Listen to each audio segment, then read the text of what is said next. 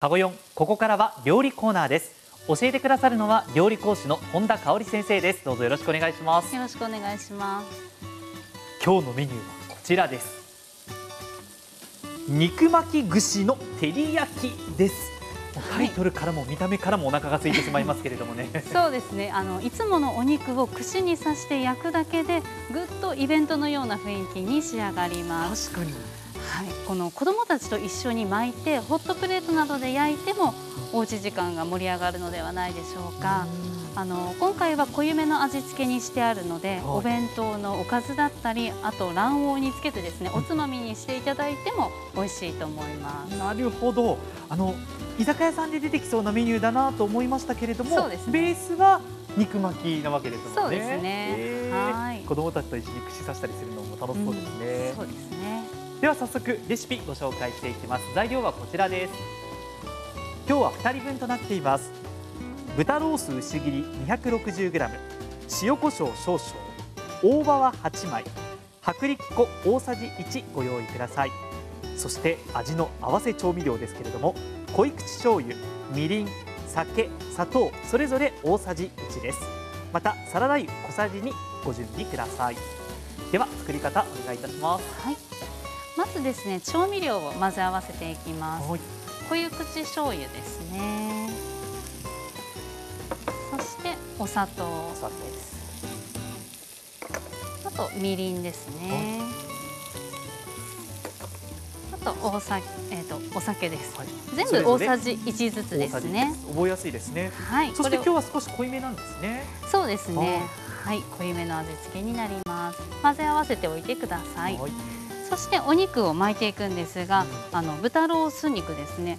豚バラ肉よりは油が少し少ないのでお弁当に使う時もあの冷めても美味しく召し上がっていただけます。なるほど。はいこのロース肉をですね縦に少しずらすようにして重ねてください、そして内側にあの塩コショウを軽くして下味をつけていきます。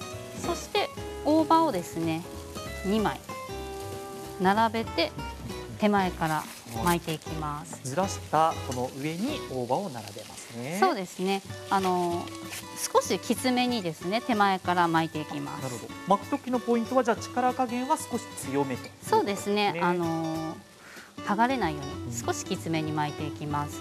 そしてこれを今1本なんですが、はい、同じようにですね4本作ってください。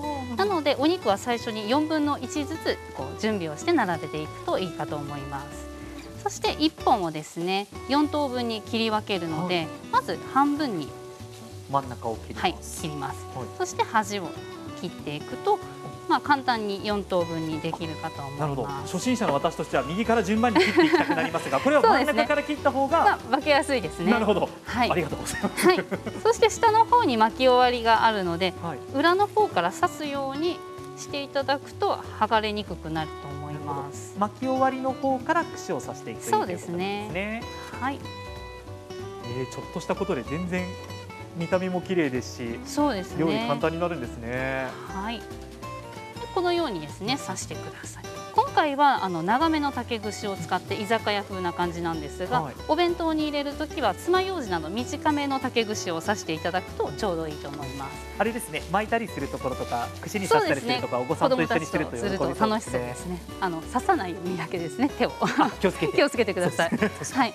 そして今回は薄力粉をまぶして焼いていきます、はい、この粉をまぶすことによってタレが絡みやすいのとあとお弁当に入れた時にですねこう味がぼやけず水気が出てこないんです。なので薄力粉を今日はまぶしていきます。はい、でまぶしたものを焼いていくんですが、油小さじ2が入ったフライパンにですね並べていきます。